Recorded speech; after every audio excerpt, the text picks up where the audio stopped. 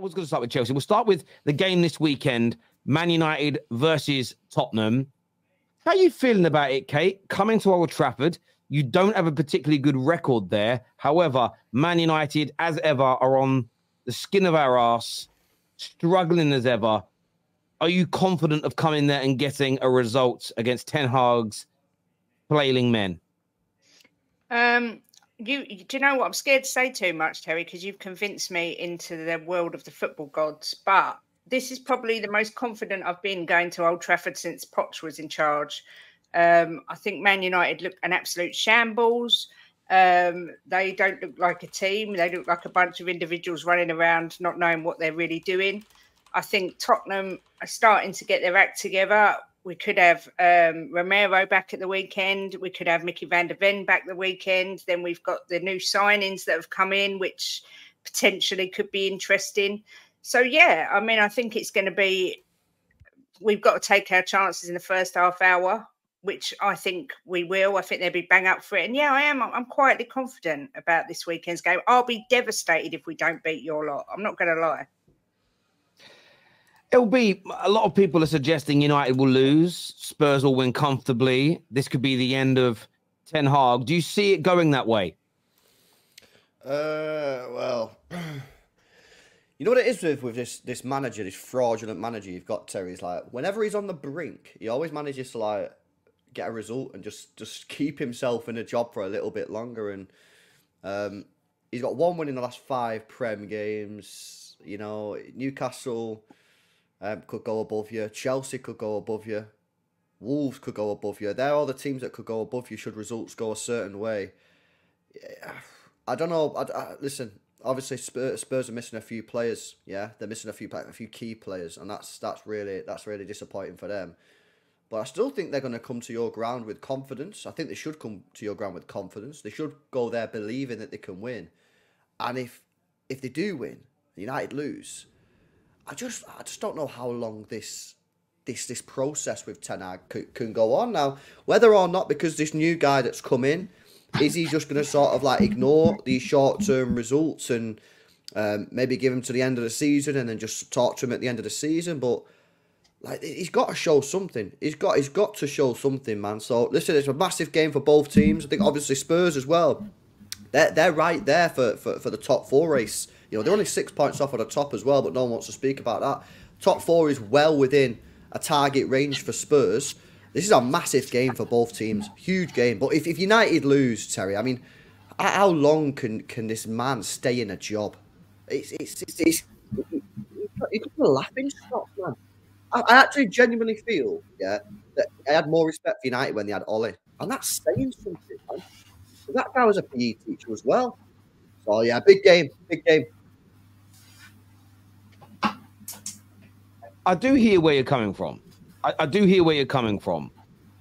He has this ability to pull a result out of nowhere. What's crazy about this league table? If we actually beat Spurs, we'd go on to third. We'd only be five points behind them. After mhm. they're being lauded for having a great season, and we're having maybe one of our worst campaigns in living memory. So there are wins in this Man United team. You look at the form, though. One win in the last five for us, four wins out of the last five for Tottenham, who really have found their feet again everything is pointing to a Tottenham win. What are you saying, Roms? What are you saying on this, bro? Like, how, how do you see it going? Do you think United will get humbled? Could it be a beating? Or do you think, a bit like LB is suggesting, that United will just get the job done against Tottenham this weekend? Kind of going off what LB said, the minute he said Ten Hag has this thing where when he's on the brink of potentially, if you don't win this game, you're going to get sacked he just wins the game. Like Wigan, let's be honest, that was a, and albeit being Wigan, and I think they're in the bottom three of League One or bottom five, whatnot. It was still a high pressure game because of the context of your season, because you're not where you want to be. I think it's 14 defeats already this season for United, 13 or 14. That was a high pressured game. He wins it. Albeit we expected him to, we've expected United to do to win certain games this season well, and they haven't. But this game against Spurs, I think is very interesting. One thing I'll say is the goals galore but I can just see Ten Hag just surviving another day and just nicking it. And this isn't because Spurs are a worse team than United. I think Spurs will dominate the ball. I think they'll be better than them in most metrics. But I just think United will. I don't know, a counter or just a break, and they'll do enough just to pip Spurs. So I would go with United, and it won't be pretty. It'll be it'll be one of them games you come away from it like, how did United win that? But they just do. And the fact they say at Old Trafford, look, I know um Bournemouth beat you there 3 0. I think that's your last league defeat. And other teams have come in and got shock results. But it still is Old Trafford. I can't ignore that. And some might say, what does that mean? But I just feel Ten Hag will do enough. But you know what? Your next game, he probably then loses that. That is just United this season. I don't know who it is, but I'm just going to say already, you probably lose it without knowing who the team is. Because that's just United this year. But I just feel they'll nick it. And like LB saying, you've been tasked to believe in the football gods, Terry. Where everyone's expecting, majority are expecting United not to win. I just feel like that's why you'll win as well. So yeah, mm. I'm gonna give it to United just. Don, mm. what kind of impact is Timo Werner gonna have on this game? I mean, we're talking about a guy that I wanted out of my club. I had to go look at my tweets again just to remind myself of the pain this guy put me through, man. And I tweeted, I said, I, I don't want this bum as our main striker next season. Yeah, that was in 2021. I tweeted that, right? And for me, listen, Werner, we don't know what Werner's going to turn up, man. It's, it's, it's a red flag that he went back to the team that we bought him from, and already they've got rid of him. Do you know what I'm saying? So I don't know what what type of Werner we're going to get. I hope it's the Werner that we saw at, at, at Chelsea, obviously. Um, but let's see if Ange can work his magic a little bit for you know for UK. But honestly, I just I just don't see how this man at 28 now, nearly 30, is to just start you know becoming a finisher all of a sudden. So let's see what he does, man. Let's see what he does. Everything else uh, away from the the finishing, he's all right. His movement's good. He's born offside. That's one thing about him. But I don't know, man. This guy's just not to move move the needle for me. I don't think. Can I just add on to that though? We've seen what Ange could do this year with players who, let's be honest, we thought their careers were done and dusted. Your Emerson Royals, your Davies, he's been able to get a tune out of them. Bissouma, last season, people saying, "Oh, is he the same Bissouma?" He's, albeit I know he's had injuries and suspensions, He's come back and did well. Richarlison, he's had an upturn in form recently. And is able to get a tune out of his players, and that's what the best managers do. You never know. Werner could come into the Spurs team, and he's a he's the Werner we saw at his first spell at Leipzig. The reason why Chelsea bought him. So I think this actually might be a decent little loan spell, spell for Spurs. And I know we Look, spoke about before LB. If it doesn't work, it was a loan. Do you know what I mean? It was bad six months and he goes Rums, back. Rums, Rums, Rums, Rums. First fans, I, I hear you, Rums. I hear you. I hear you. But go on, Kunle, go on, Kunle. nah, I, I, hear what Rums is saying, but look, I, I can see positives to the Werner signing in terms of he suits Ange's style of play. But let's not get it twisted. This is Timo Werner. Like we've not forgotten that the years that we watched this guy make love with the offside trap. Like let's not let's not be silly here. Like he's always he lives there. That's his. He pays rent constantly for that offside trap. He's gonna probably have the record for offside goals in the second half of the season. But let's be fair. He's a, he's one player that does have a purple patch in him. So that purple patch, we don't know what that could end up having Spurs achieve top four or or whatever. You never know. Win a tr- actually not win a trophy, but yeah, you know what I'm saying. You never had no purple patches at Chelsea. The guy had what ten goals in the in the prem the whole time, bro. Three seasons. he didn't have not, not a single purple patch at Chelsea. I don't know what what you're watching, Kunle. he's got he's got a purple patch in him, but I don't think LB, it's going to be a good signing overall. Oh, I don't know how I'm muted. Yeah, bro. I was gonna say on that first season though, yeah, he got six goals, twelve assists for, for, for you guys. Now I know you'll say, oh yeah, but he missed a lot of stuff, but that's not bad for mm-hmm. a first season. 18, 18 GNA in his 1st mm-hmm. year. Yeah, but the, bro, the amount of chances this guy was missing though was ridiculous, man. I'm talking about right in front of goal. Yeah, he can just pass it or shoot. He's, he's missing it right in front of goal, bro. Offside. Did, like did, do you think okay? Okay, this, this, LB, this this is a better nah, question. Nah, nah. As, how, as, an individual, how, it wasn't good enough, man. How many of you would have taken Werner at your club? Nah, because that's not no, no, no, no. That's not a good question, bro. I'll tell you what. Yeah, why not? Why not? No, because with, with with the greatest of respect to Spurs, they're not competing like we are. And I say that with greatest respect. They're trying to build their way up to to become like like City, like Liverpool, like Arsenal. They're not. So this is this is a good signing for them, in my opinion. Are you saying it with respect? Well, it's, it's not. It doesn't sound respectful, but I do, I, I do, mean it in a respectful way. It's the truth, though. Without being horrible to Tottenham, they're not Man City. They're not Arsenal. They're not Liverpool. They're, they're a they're a step or two or three below those clubs in terms of where they are now historically trophies. So no, I, I agree with that. In terms of this game, though, look, I, we'll beat Tottenham. we will beat Tottenham this weekend. We will beat them. This isn't because Make Tottenham- sure you know. I, I believe we will. I believe we will. People are too confident that Spurs are going to beat us. It's one of those games where we'll win. I'm not. I- I'm not. I don't even need to break. I'll, I'll give you an example of a game like that. People, everyone thought Chelsea were going to come to Old Trafford and smoke us. It's got the same feeling, the same talk. Everybody's laughing at us ahead of time before a ball's kicked, and that upsets the football gods. Spurs are a better team than Man United. No, no, I'm not. I'm not saying they're rubbish. They're a better team than Man United. On form, they should beat us. On overall quality this year, they should beat us. But complacency is going to creep in because everyone's acting like they've already won.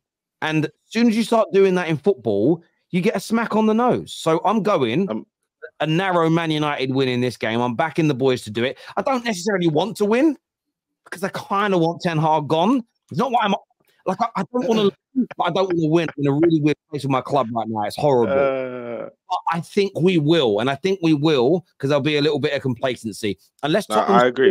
in 20 minutes, Man United will win the game 2 1. No, I, I agree with you, Terry. I I, I think uh, like Ten Hag listens to every day I'm hustling every because this guy is a hustler. On the way to the game on the weekend, he's gonna be pumping the anthem like he usually does when his job's on the line, and he's gonna pull it out the bag. I don't know what this guy did, and the juju, the the, the, uh, the Old Trafford juju is real. Let's not lie. And every now and again, it hook cooks up a spell, and I think this is gonna be another one this week. As much as I I hate both clubs. So it's the one of the most confusing games of my season. I don't care really what happens. I prefer a draw, but unfortunately, I think Man United are just gonna edge this one. You know, Do, do you guys remember that video? I think this is the video he plays to the team when he's about to get sacked. You ever seen that video of the little bald guy that says, I think I'm going to lose my job? yeah. I think he plays. I think, I think he plays that video, and they go, "Oh, we don't want we don't want to see him crying outside afterwards with the Glazers chasing him." But yeah, listen, I'm not. A lot of people saying need humbling. I'm not saying we're better than Tottenham. That isn't. None of those words have left my mouth. Yeah, but Terry, the thing is, yeah, You can't even use, you can't even use us as an example. Like I know you said, "Oh, Chelsea." Everyone said Chelsea were gonna come to Old Trafford and beat you lot. Yeah, Pochettino tactically, bro. I didn't think I'll see a worse tactical um speak- uh game game the game than uh, than Ten Hag. Like he's actually Yeah, been worse I than Ten you what, Hag. I Speaking of recently. tactics, You get? This is a I don't see difference Ange now. Tactically is- being being as bad as I get you. I think Spurs will look like they did against Wolves in the game.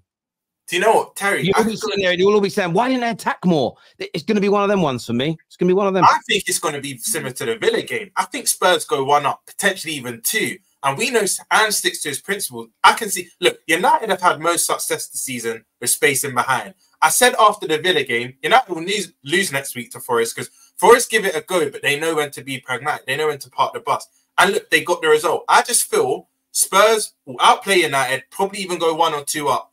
But that space in behind, I know some people might say your forwards can't finish their dinner, but this might be the game they do. I think Garnacho, Højlund, Rashford, and Antony and not whatnot, they're going to relish the space in behind. But this is why I think Van de Ven is key. I think Van de Ven, I know he's not 100% fit, so he probably won't start the game, probably get introduced. But if, if you can have him back, and even if you just see him starting as Spurs fans, I think that'll fill you a lot of confidence because he can maybe catch up to that high line. He can maybe cheat. You know, when you give them a hmm. yard of space, he's got the ability to catch up with them. But I can see United Hey, nicking this. can I ask you a question, Kate? Because there's a comment here from AJ that says if Spurs can't beat a mediocre team like United, we have no right even mentioning title race. How embarrassed will you be if Man United beat you at the weekend? Will you feel a sense of embarrassment if that happens? No, I won't be embarrassed because we're going to your place, and Old Trafford is Old Trafford at the end of the day. But we are better than you. I'll be embarrassed because your manager's crap, and ours, I think, tactically is far superior to yours. You'll be Um, embarrassed. I just think it's hilarious how cocky you are, Terry. That you're just I'm not gonna- being. I'm not being cocky. I, Well, I, you're, I'm, I'm you're overly confident you're going to no, win. I'm not. I'm not confident. I'm I'm confident we're going to fluke it. Yeah, I'm not saying we're better than you. That's not confidence. That's just I see it being one of them judge games. You was like, oh, you know, I'm not even worried. I don't even have to talk about it. I just think we're going to win. You know, it's Um, like, I didn't sound not worried. I didn't. Wait, what's all this? When am I doing this? When did I turn into Del Boy? Wait, I know I'm a Cockney, but Jesus! oh, know what I a little mean? bit of this. Half a I- pound of pound there, man. What was what was doing there? I haven't seen anyone, um, any Tottenham fans going around saying, you know, this is going to be easy. We're going to beat them. Not at all. And Ange certainly won't allow complacency within the team. No, But you just said you'd be embarrassed if you don't beat them. So that's No, isn't that the same thing? say. Okay, No, what did you say? I will be for our manager because he's better and our team is better. I said, but we're still going to Old Trafford at the end of the day. you definitely said the word embarrassed. You, you definitely said the embarrassed the first time round, and then when you were Varane. Um, explaining Oh, yourself, you then said, Varane. Arrange. "Okay." Um, and he Sort it out, puts Ten Jimbo. She's getting lost, Jimbo. Sort it out, Jim. and he puts Ten Hag is crap, right, at the end of the day. But I, like I say, I haven't seen any Tottenham fans giving it large, saying, you know, this is going to be easy. We're going to walk it. We should beat them. Um, you know, we know where we are. Man United, Chelsea, Arsenal, you all think you're better than you are. Tottenham fans, we know where we are, apart from the few few that come on uh, the fan reactions that think we're better than we are. But the majority of us know we're at the start of a project and we're building. So, you know, we take each game as it comes. If Van de Ven's back, it's massive. If Dragusin signs and is playing, it's massive for us. I just, uh, Højlund's bagging. Højlund is bagging. Højlund. Hey, hey, if you're a betting man, I'm not gonna lie. Betting man, no. Cob- Kobbie Yeah. Mainoo's first Premier League goal this weekend. What you lot saying? Big, big up. Listen, you want to put a little flutter on? Drop that, No, drop that no, cheeky no. tenner, cheeky tenner. Use BetMGM, our sponsors today. I think if you top up like 10 quid, they give you 40 pound free as well. But Golden Goals is free to play. So make sure you sign up to that.